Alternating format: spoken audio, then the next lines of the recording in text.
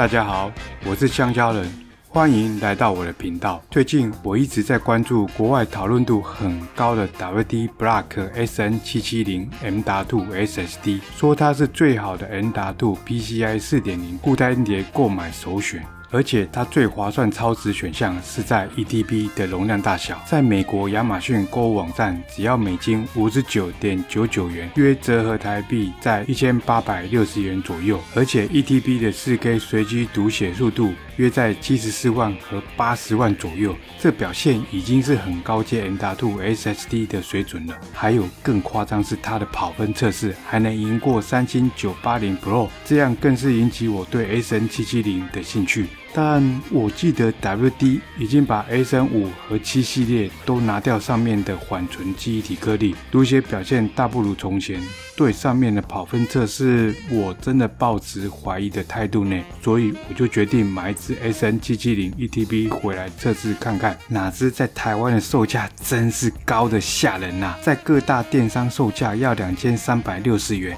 这也太夸张了吧！前一阵子撑了很久的美光 P3 Plus ETB QLC 颗粒 M.2 SSD，现在也降到合理价格，只要一千七到一千八百元左右。在全部多方比较后，还是美国亚马逊购物网站更便宜点，所以我就下单买一支回台湾了。但哪知现在台湾六一八购物节活动，WD 好像记起很久没有调降 SN 七七零 ETB 的售价，马上大降价到一千八百八十八元，真的气死我了！这下可亏大了，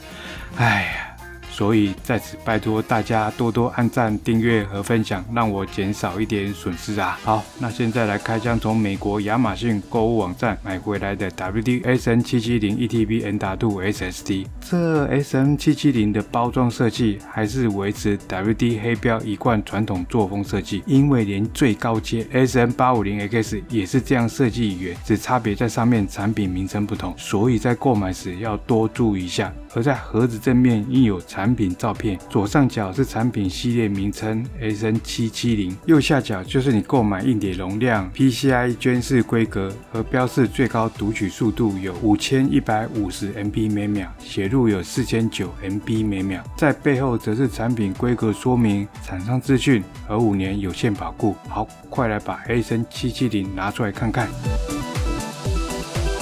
哇！这里面就是很简约的包装设计，用一个透明盒固定好 M.2 SSD，和附上一张使用说明单。而这张说明单是有多国语言版本，字体也是超级小的，真的对有老花眼的人士阅读上是一大挑战呐。所以大家有空可以看一下，在主体 AN770 是用保护性还不错的上下盖透明盒子保护好，再拿去使用也很方便。但看到这上面主控和颗粒安排位置设计，仿佛看到老朋友 SN550 的样子，完全和它一样的设计调性。在最上方金手指下就是 SanDisk 主控晶片，下方是 SanDisk ETB 单颗储存颗粒，在中间放空了很大空隙，说这样拉开距离。可以减少两者发热量的相互干扰，保持最佳读写效能。但我必须说个老实话，这一支 SN770 可是 PCI 捐式，更高读写速度，发热量也不可以小看。建议要自己加装大型 M.2 SSD 散热器，让它的效能才能全力发挥，又不受高温因素影响。在它背后则没有任何颗粒。再看看它的整体厚度，也非常的薄，要放入笔电里面使用，应该也没有问题。主要需担心应该是发热散热问题，要做好。那大致先介绍到这里。快来上机测试吧！因为现在是台湾夏天，气温会比较高。为了 SN770 ETB 免受测试时高温影响，我是加装使用九砂 M.2 SSD 散热器来帮忙散热，再多榨出更多效能来。使用的测试机台也是一样，用机加 D690 主机板搭配十三代 i9-13900K CPU，而主系统 Windows 十一则是安装在金士顿 KC2500 两百五十 GB 里面，并加装乔斯。散热器，在负责传档陪测的是他的老大哥 ASN 八五零五百 GB，读写速度有七千和五千三 MB 每秒，也加装从美国亚马逊购物网站买回来双热管三公分风扇 N 达度散热器，尽量把所有 N 达度 SSD 高温降速问题减少到最低，这样测出来的成绩也比较有参考价值。好，完成，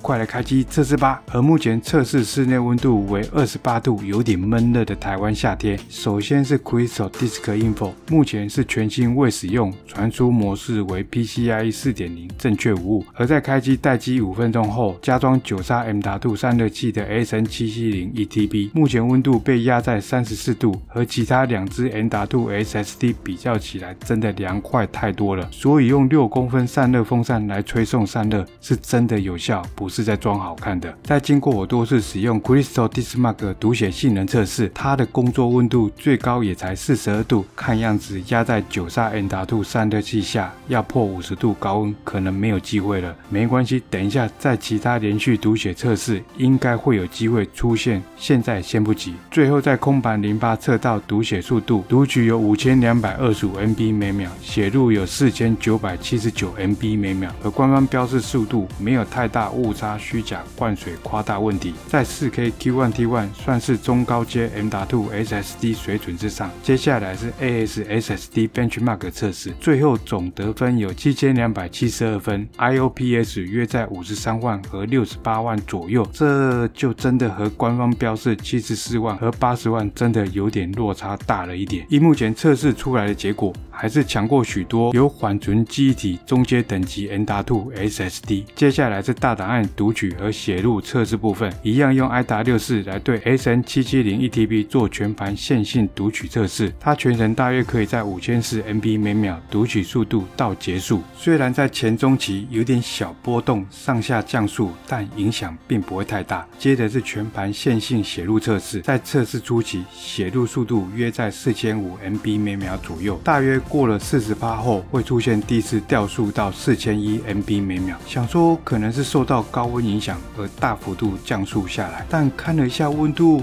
最高也才四十度而已。看样子应该是它的写入策略设定模式影响到它吧。接下来到七十八时，就很明显出现 SLC 快取耗尽问题，马上掉速到五百七到一千七百 MB 每秒之间，在那上上下下大幅度跳动写入到结束。看到这全盘写入结果，原来 SN 七七零的 SLC 模拟快取已经接近全盘模拟使用，难怪它会比其他无缓存机体 N.2 SSD 强许多，高达七十趴的 SLC 快取。真的让你在前中期感觉不出 S N 七七零有掉速问题，而就算超过 S L C 快取，它最慢还有五百七十 M B 每秒的写入速度可以用，对一般大众来说也是很足够，不会出现卡顿慢到不行的问题。再来用实际档案来写入测试看看，是不是和我猜想说的一样？这里一样使用上次的五十二 G B 大小测试档，从 S N 八五零把五十二 G B 测试档拷贝复制到 S N 七七零 E T B 里面，再写入出初期大约可以在二到三点四 GB 速度写入，但在写到六十七趴会急降速到一 GB 每秒后，再马上回速到三 GB 每秒到写完，感觉是启动热色清理回收功能，稍微拖累影响一下它的写入速度吧。因为接下来几次测试写入方式都是一样模式，没有太大的差别。但在写到第七次八十趴进度，总计有三百五十四 GB 时，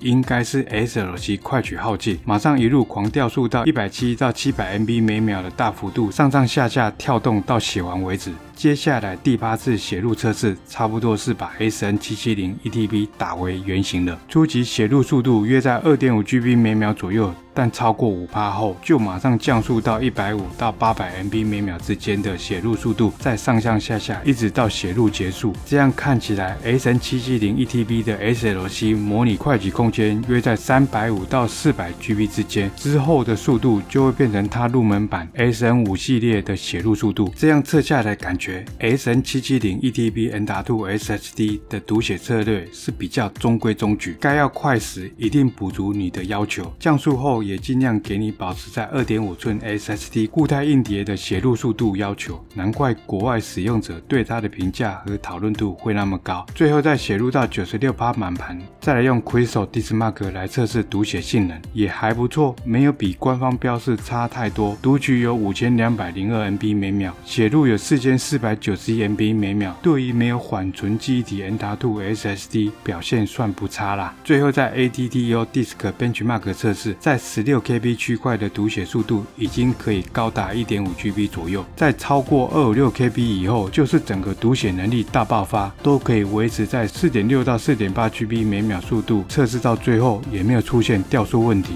那以上是 W Block SN 七七零 ETB PCI 四点零 M.2 SSD 固态硬碟测试。目前测试结果，SN 七七零 ETB 可以算是无缓存机体 M.2 SSD 固态硬碟的前段班表现很好的 M.2 SSD。比起其他同价位只能给你 QLC 颗粒 PCI 四点零 M.2 SSD，真的好太多了。可是我也必须说个很现实的问题，在科技多样化可以自由选择 M.2 SSD 的台湾，真的很不吃香啊！目前在台湾电商购物网站，许多大厂制作的 N M.2 SSD 配有缓存机体，都在大量低价促销。最近我还看到 GN 七千二 TB 特杀价格只要两千九百八十元，它的 E TB 目前也只要一千九百九十九元，也只差个几百块而已。当然，直接补足差价，一次攻顶省事解决。可是，在选择 M.2 SSD 固态硬碟，还是要看你的个人需求。硬要把高阶 M.2 SSD 塞入文书电脑里面使用，是真的有点浪费，可惜啊！你说不是吗？那今天的影片就到这里。如果换成是你，你会想买无缓存记忆体的 WSN 七七零 ETB M.2 来用吗？都欢迎在下面留言告诉我你的想法，也请多多帮忙按赞和订阅，让我可以更快一点达到十万订阅奖牌。我是香蕉人，那我们下期影片见啦！所以影片到这里，如果你喜欢我的影片，请记得订阅和分享，也记得把你的铃铛打开哦，这样随时才可以收到我上传的最新影片。拜拜。Bye.